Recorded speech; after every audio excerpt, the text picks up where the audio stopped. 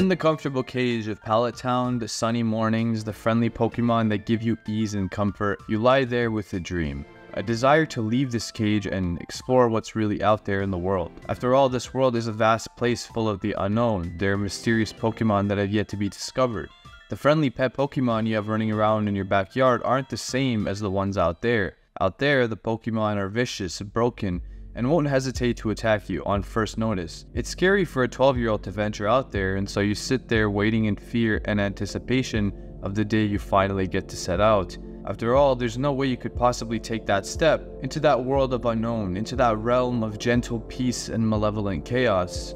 You've been given nothing special, you're just an ordinary boy without a Pokemon. What hope do you have of accomplishing anything? You remember your best friend, his grandfather, a renowned Pokemon master and professor, and himself a pretty strong Pokemon trainer on his own, constantly saying how he's going to become the strongest trainer in the world. That powerful ambition is riveting, and it sparks a fire within you that makes that outside world seem like an adventure. And so, you, the hero, instead of sitting idly and waiting for life to happen, waiting for circumstances to be just right, sets out with fear, doubt, and some regret but nonetheless, you set out.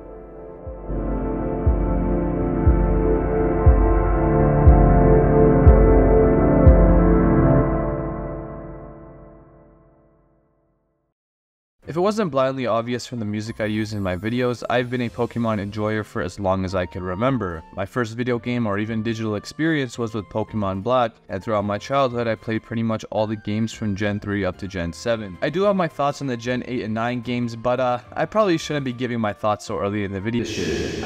One of the things I've always wanted for Pokemon was a darker version of the immense story and lore, something that would just bring out the characters in the world a whole lot better than Ash Ketchum in his 25 year journey as a 10 year old. After all, Pokemon has immense lore and a ton of potential for incredible story writing, but obviously they just never seem to do it. Indigo League was really fire, really nostalgic, but objectively speaking, the story was nothing special. I looked into the medium that this channel was based off. I searched manga up and down to find something, some sign of a Pokemon manga that would be good and I found the Pokemon Adventures manga. I'd read pretty much this entire thing when I was a kid, and from what I can remember, the story was much better than the anime could ever hope to be, especially the black and white narrative, which had an ending that you really wouldn't expect from a series like Pokemon. But after looking back on it after many years, I realized that it still doesn't give me that which I desire. It's not that darker, more adult story with deeper themes, the artwork isn't anything mesmerizing. So you can imagine the look on my face when I stumbled upon the Pokemon fan manga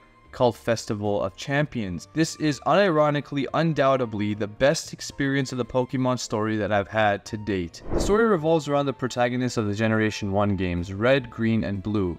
Green is the archetypal perfect kid who is the best at everything and has all the potential in the world to become the greatest trainer like his grandfather. You know that old fuck who's the first face you see when you open your Fire Red copy on the Game Boy Advance. Then there's Blue who's the female protagonist with a laid back personality and no real dreams of her own, though she does have a backstory that's very touching and perfect for her character. And then of course we have Red, who wants to be the greatest Pokemon trainer ever.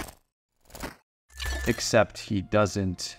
No, Red doesn't have this dream of his own. In fact, he doesn't really have a dream. He doesn't really want a Pokemon and he doesn't know what path to take in his life. That's the real Red, an unambitious kid who only wants to be better than his rival Green without any real path of his own. He's a realistic representation of what a Pokemon trainer actually feels, looking at that vast, mysterious world and fear that crushes any path he tries to walk down. But when he sees Blue in his ambitious perfection, he feels something, and some fire lights up within him that gives him some hope. But even then, the world is such a scary place, and he feels conflicted about going out on his adventure. One day, Red finds a Pikachu in his shed, but it's not any normal Pikachu. It's one that's been beaten and abused by its previous trainer and left to die by its herd because it wasn't strong enough. Pokemon, after all, are animals in a way, and they have their own laws and ways of living.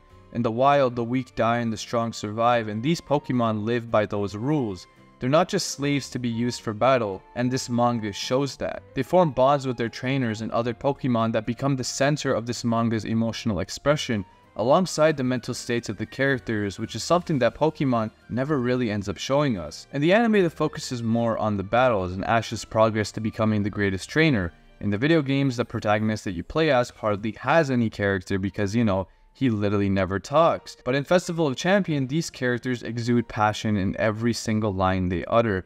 Green's burning desire to attain power and the hole left in his heart from the tragedy he suffered. Blue's ability to bond deeply with Pokemon despite her past trauma of touching Pokemon. And Red's dream of exploring the world and making it to the pinnacle of Pokemon training.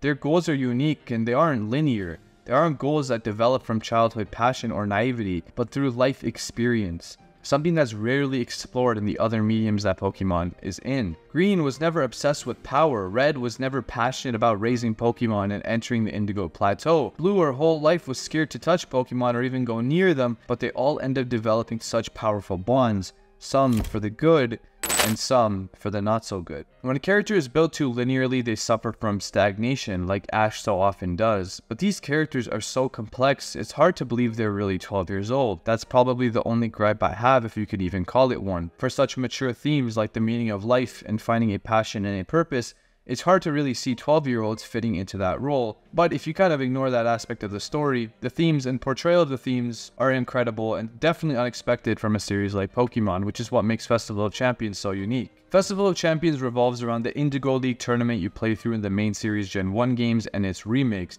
except it isn't nearly as boring and linear like the other aspects, it's not about Red going chamber to chamber to battle Lance in his 16 pixels. It's a giant tournament where a bunch of well-known trainers from the mainline games come together in a tournament to see who comes out as the new champion. The competitors aren't just Kanto and Johto competitors, in fact they come from all different regions. The Kanto and Johto Elite Four are among the strongest and there are gym leaders like Misty, Skyla, and Volkner, bringing in a variety of characters from different generations of the games. The battle between Red and Misty for me is a perfect example of how this manga separates itself from other representations of Pokemon. Misty has been portrayed in so many ways through the anime, the adventures manga, the video games, and of course Rule 34. But this Misty isn't just another obstacle or a tomboy who's in love with Red. She has dreams of her own, and when she loses, she feels bad about it. She doesn't just hand Red the gym badge, she truly feels something deep inside of her because she had a dream as well. You actually see this character come to terms with having failed to accomplish her dream and you even get Red's side of it,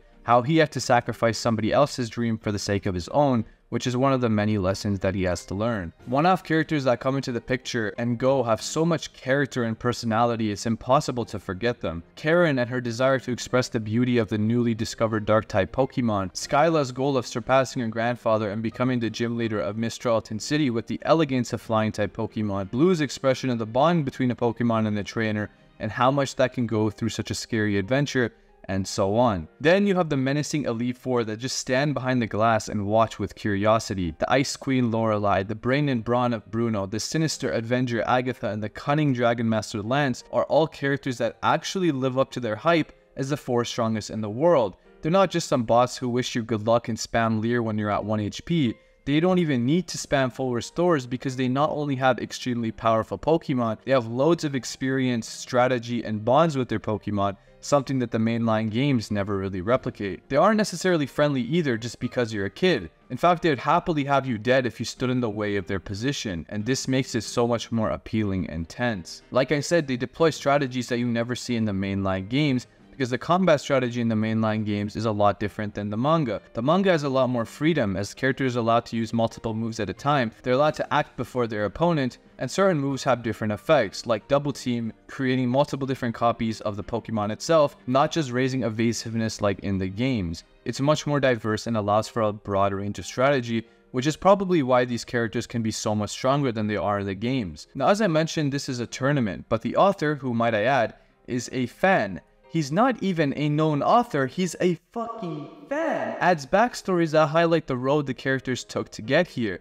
And to me, this is where Festival of Champions shines. Ironically, it's not just a festival, but it's the people who walk into the festival and their stories individually. Remember when I talked about Red's Pikachu and where he found it? Well, this Pikachu alone endured enough suffering to bring a grown man to tears. He's not just a Pokemon given to Red by Professor Oak, he's a broken down shell of a creature he used to be. Born into a herd of Pikachu in Viridian Forest, this Pichu was born with the inability to discharge powerful electricity. This ability is what allows the young Pichu to be accepted into the herd and what allows it to finally evolve into Pikachu. But of course, due to this condition, the Pichu could never do it, and so He didn't fit into the herd. He didn't feel a sense of ambition, a sense of strength and community with his herd. And of course, he couldn't evolve. So he was abandoned because of something that he was born with. Pokemon are portrayed much like humans in this way, and it shows us that a fundamental law of nature is present in the Pokemon as well, giving them so much more life and showing that again, they aren't just simple tools for battle. A member of Team Rocket eventually winds up catching the Pichu with the hope of raising it to become stronger than Lieutenant Surge's Raichu, the electric type gym leader. Through this training, Pichu finally evolves and gains a sense of accomplishment for what he and his trainer were able to do.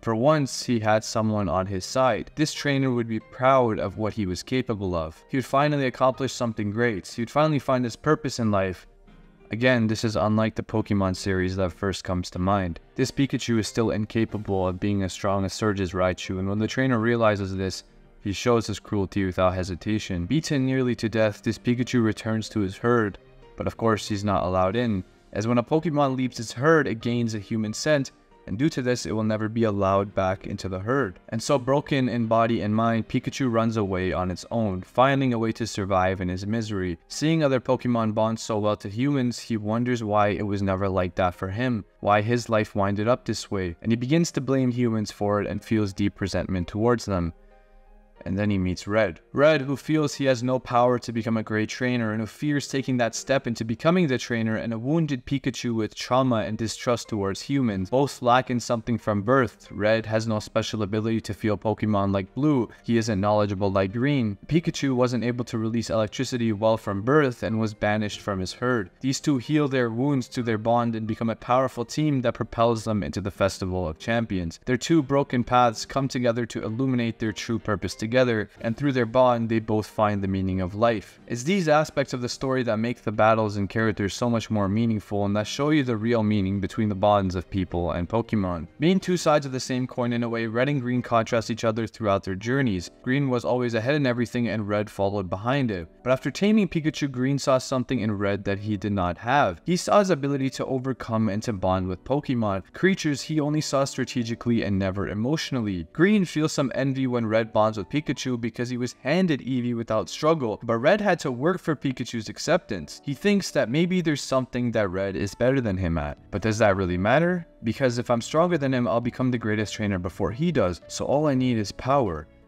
And so Red bonds more with his team, and Green begins to bond more with the power of his team. The biggest consequence of this power-hungry pursuit manifests itself in one of Green's Pokemon, but I'll save you the pleasure of exploring that on your own, as I've already given away a decent amount of the manga. But I'll just say this, if you know what happens in the mainline games, you'll know what happens in this manga, except as everything else is, this is expanded so much further and impacts so many more characters than you would expect. This storyline skyrockets Green's character to the moon and makes him my favorite in the series because of how he has to overcome this event and because of how he clings to power and why he clings to power. This part of Festival of Champions might just be my favorite, which is why I won't speak on it any longer in case you still haven't checked it out yet. This manga has been ongoing for quite a while and only has 15 chapters, plus some of the prologue chapters. The reason for this low chapter count is 1, because the chapters are really long, and 2, because the artwork in this manga is better than 90% of manga out there. Keep in mind that this was drawn by a fan. Not only is the artwork that's elite, but the paneling is incredibly well thought out and professional. A manga can have good artwork but mediocre paneling and things just won't feel right. The moments won't hit the same because each page tells a story. If you have multiple boxes within a panel, they must connect in ways to bring out the intended emotion. This manga has some of the best paneling I've ever seen and it's part of the reason why each moment hits how it's supposed to. The battles are exhilarating, the backstories are sorrowful, and the wholesome moments are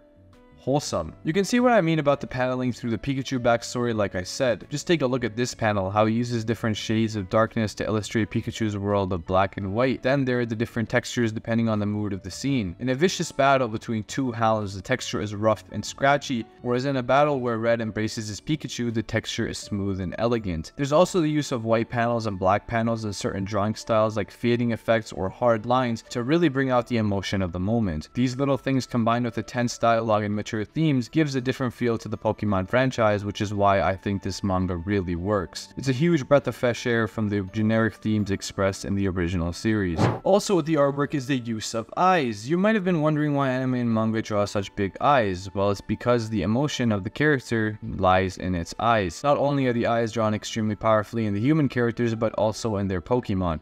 I ain't never seen a Pikachu with eyes like this. The look of a broken Pikachu versus when it's embraced by the meaning of life. The passion in Red Awakening versus the rage he has for the world the pride of Karen's Houndoom versus its vicious nature. All of this is expressed through the eyes and combined with the artwork, you have characters and creatures that feel real. As is based on the main series games to an extent, one can try to predict how Festival of Champions will end, especially when we consider the foreshadowing. The protagonist of the Johto games, Gold, is present as a spectator in the tournament, which might suggest his importance in a later arc, maybe like a Johto arc. Then there's numerous metaphorical examples of Red climbing to the peak of a mountain, and if you've played the mainline Heart Gold Soul Silver games, you'll know who's standing atop Mount Silver and who goes to fight him. But of course, this is all in the fun of speculation. Now I will say, although the story is incredibly written and drawn, it suffers from one big problem. Yeah.